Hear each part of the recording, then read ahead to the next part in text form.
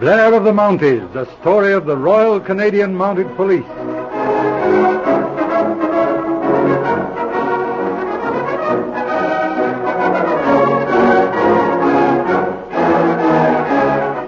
We present the 21st episode in Blair of the Mounties. Our story again goes back to the early days of the Yukon mining camps, as related to Inspector Blair's old friend, Angus MacGregor over the chessboard. Aye, your move, Angus. ah, what is the use, Inspector? I mind the day when you didn't ken a queen frae a castle. but no, I haven't won a game for years. this heat of mine is getting all foggy, I'm thinking. what about the story, laddie? I'm afraid I'm just about run out of stories, Angus. Did I ever tell you about the Goose Lake robbery? Mm, no, I didn't remember it anyway. You remember the gold strike up on the fishing river in the spring of 99? Aye, I remember it well.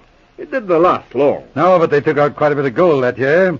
Goose Lake was the staging camp. The express shipments used to lay overnight in the safe, reach the landing next day. The robbery happened while I was sergeant at the landing. Ten thousand dollars worth of dust cleaned out one night. Did they blow the safe? No, it was opened by an expert. Wasn't much of a safe uh, as they come nowadays. Well, let's hear the story, laddie. All right, here we go, Angus.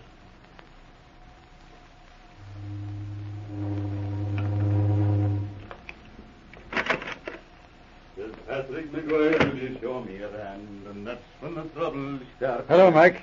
Anybody special on the boat? Oh, he got a. That's the funniest looking fellow I've seen in a blue moon. Huh? Comes from your own country, too, I'm thinking. What's funny about him? Well, no. No offense, no, Sergeant. There's funny people in every country, even in old Ireland. but this fellow's the limit. He's going up to Goose Lake for the hunting, and you ought to see the clothes on him. Sportsman, eh? I suppose so. He has a pile of baggage along, and enough guns to start a war. Did you check up his permits? Oh, sure, he's coming over. Wants to talk to you. Wish now, here he is, be All right. Uh, good evening, gentlemen. Come in. Come in with you, mister. Let's see now. Uh, what did you say your name was? Oh, Vandera is the name. Oh, sure. Shake hands with Mr. Van Sergeant. Oh, uh, how do you do, Sergeant? Uh, do you do? I uh, was uh, just going up to Goose Lake for a little spot of shooting, don't you know? I see. Got your permits? I'd like to look them over. Jove. uh, oh, yes, yes. There you are, Sergeant. Thanks. So you're going shooting, Mr. Van Dusen, are you? Have you had any experience now? Experience? Oh, my dear fellow. What a question. Uh, hang it all, experience. Uh, oh, I say. Why do you ask? Well, I'm a pretty good shot myself now. Tell me now, did you ever do any ramrod shooting? Ramrod shooting? My dear fellow, I never even heard of it. There you are now. Well, I'll tell you. Back in County Clare, we used to load up the old blunderbuss with a big charge of powder and one of them old-fashioned ramrods. Then I'd go out and lay by the side of the lake, and all I had to do was to get a couple or three ducks in line, and then... Uh, cut it out, Rafferty. All right, Mr. Vandler. The permits are all in order. Hope you have some good sport. Oh, thank you so much, Sergeant. Oh, Rafferty, take this gentleman over to the hotel and see they give him a good room, will you? Okay, Sergeant. This way, Mr. Van Dooligan. Now, as I was telling you, this here ramrod shooting is the... Oh, oh, oh, oh, oh, oh, I I say, my dear fellow.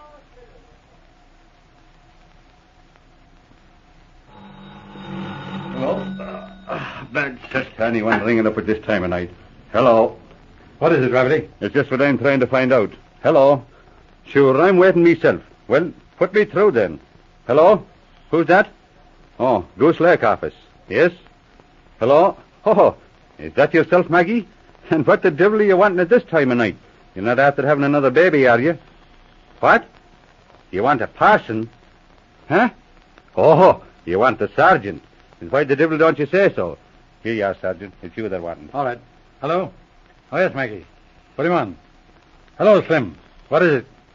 The safe? Somebody robbed the safe? What do you mean? Oh, express stuff, eh? How much? Ten thousand, eh? What? Got away? Wounded? Who shot him? What? Oh, all right. We'll be up there by noon. Keep everybody out of that office. Don't touch anything. All right. Goodbye. What is it, Sergeant? Somebody robbed the safe at Goose Lake. Got away with ten thousand in gold dust. The robber was wounded. Who shot him? Why, it is your friend Vandeler, the sportsman. Powerless Percy? I'll not believe Why it. not? Well, sure, sure, he couldn't hit a house if he was inside of it. Hasn't he been up there three weeks now, bombarding away at the ducks from morning till night, and he never touched a feather? Him shoot a burglar, is it? Ah. Must spend a lot of money for cartridges. I'll be dead. He has an outfit and loads them himself. I believe he gets more kick out of that than the shooting. Well, get into your clothes and get the horses. We've got to get up there right away. Oh, sure, I thought as much. Bad says to it. Why didn't I stick to farming when I did this thing?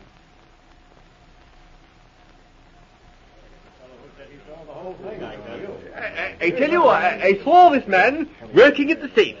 Uh, drawing my revolver, I called upon him to surrender. Uh, look out, look out. Here's the cops. Come on now, clear out with you, the whole lot of you. Oh, gee, why, why can't we take it out here? Hello, Rafferty. What's doing? Well, oh, Percy, come in. Come in, will you? Oh, certainly, certainly, my dear old chap. Oh, good morning, Sergeant. So we meet again, as they say in the jolly old storybooks, what? Uh, you know, it's funny that I, I was just uh, going to say to you, uh, by Jove, uh, Uh, here, what do you know about this robbery? Well, oh, yes, yes, quite so, quite so, the robbery. Yeah. quite an exciting affair, I assure you, Sergeant. As I was saying, uh, every crime, don't wait you know, minute, has wait a minute. Well, How did you come to be here when the thing happened? Why, my dear fellow, you see, I sleep almost directly above. Oh. Hearing a noise in the night, I picked up my revolver and crept quietly downstairs. What was my surprise to see a man working at the Well, what did you do? Well, uh, pointing my gun at him, I called upon him to surrender. Instead of obeying my command, he threw a chair at me. Uh, when I got to my feet again, the man had disappeared. You shot at this fellow? Uh, well, uh, oh, to be quite truthful, Sergeant, my revolver went off. In the excitement, uh, apparently the man was hit, as uh, there were blood spots on the floor. Happy dead. I thought it was an accident. All right, wait a minute. Can you describe this man? well, really, Sergeant, I, I couldn't say precisely. He seemed to be rather a small sort of chappy, uh, but it was so dark, you see. Uh, all right, Percy. Thanks very much. I'll see you later. Delighted to be of any assistance, my dear fellow. Here he is, boys. We picked him up in the swamp. Uh, they got that fella, Sergeant. He shot through the arm. All right. Well, what's your name? Kalinsky, Pete Kalinsky. Where's the stuff you got out of that safe? Where is it? Say, I'd like to know myself. Come on, where is it? Say, listen. I don't know anything about that. Oh, no? Just shot yourself by accident, I suppose. Come on, Kalinsky. We have a witness who saw you at that safe last night. Sure, that's okay. I was here, but I didn't get no dust. What? Sure. Oh, what's the use of stalling? I ain't got it. Gee, three weeks I put in framing this job, and all I get is the slug through the arm. Can you beat it? Hold on. You mean to say you didn't open that safe? Sure, I opened it. But I'm telling you, there was nothing in Ah, there. big got it. That's a good one. Do you expect anybody to believe that? Ah, suit yourself. You got me, ain't you? You know what happened. I just got the safe open when a guy busts in on me with a gun. I throws a chair at him, see? And he gets me through the arm. Uh, Can you beat it? What do you think, Sergeant? Oh, it might be true. Anyhow, we'll take you along, Kalinsky. I'm warning you, if we find out that you got that stuff, it's going to be a lot tougher for you. So if you've anything else to say, you'd better talk now. I tell you, I ain't got it.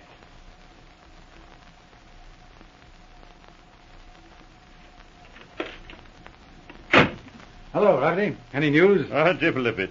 I'm thinking we'll never see that stuff, Sergeant. Looks like it.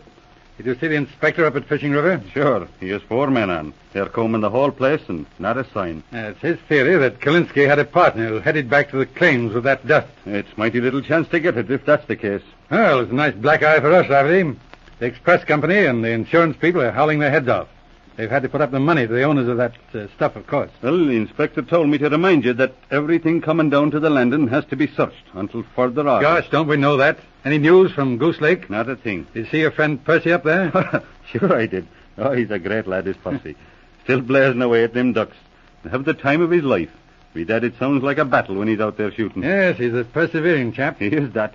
Goes out with a sack full of cartridges and blazes away for an hour or two, and then comes back in and loads up another lot, and out he goes again. Doesn't he ever get anything? Well, now and then. He, he knocked over a big Canada goose the other day, and the whole population of Goose Lake had a celebration. Three drinks for the crowd, and Percy making speeches all over the place. Did he say anything about the robbery? Did he? Oh, be dead. He's full of theories. Let's see. Get that, Rafferty. Hello? Who is it? Who? Oh, good evening to you, Slim. What's the trouble now? What?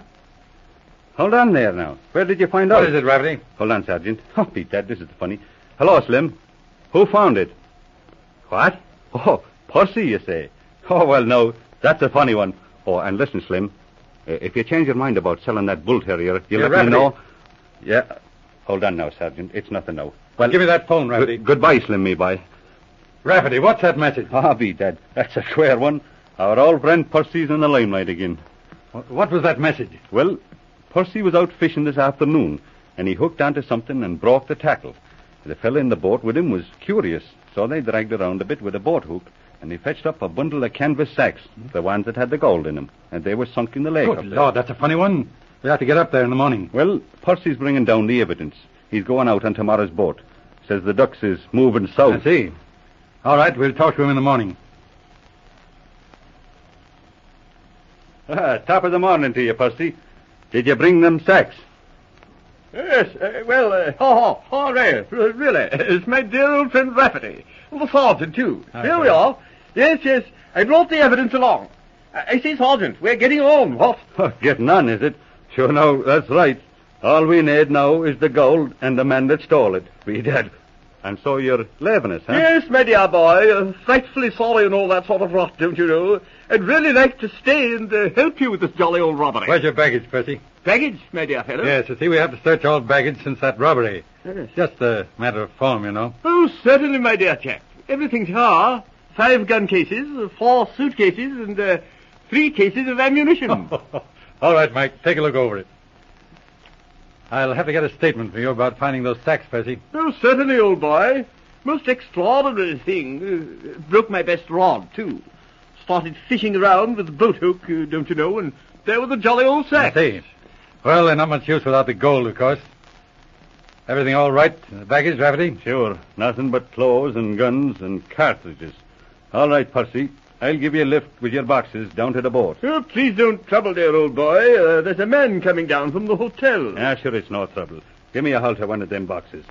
Oh, oh, what the devil now? That's a heavy box. Give it a hoist onto me shoulder, Sergeant. Hold on. Good Lord. Why didn't I think of that before? Open that box, Rafferty. Eh? Give me one of those cartridges. Look out! Grab that fellow! hold Hold still there now, Percy, me boy. I'll take that elegant little gun now. Look here, I protest against this interference. Don't touch those cartridges. Give me a knife, Rafferty. There you are, Sergeant. Hold still now, Percy. Ah. Cartridges, eh? Huh. There's three ounces of gold dust in this one if there's a grain. All right.